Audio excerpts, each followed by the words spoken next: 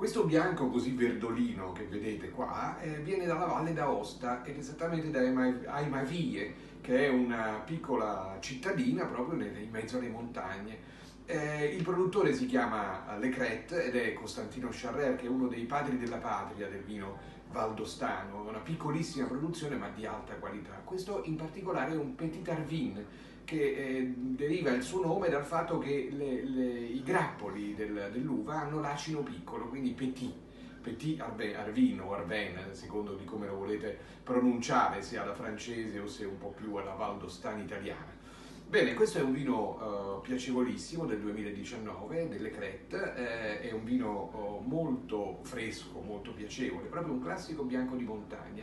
Proviamo a, a sentire i profumi, che sono dei profumi agrumati, sanno un po' di limone di Sorrento, di limone di Amalfi, di cedro, poi di fiori bianchi. Sembra quasi che con il profumo voglia ricordare invece dei frutti molto più mediterranei, essendo invece in mezzo alle montagne. Proviamo ad assaggiarla. Molto molto uh, sapido, salino, uh, una bella acidità, fresco, piacevole da bere, un vino che si abbina un po' con tantissimi piatti, con i risotti, con la fonduta ad esempio, che è una delle cose tipiche della Valle d'Aosta, ma anche con tutti i piatti della cucina marinara italiana che vi verranno in mente.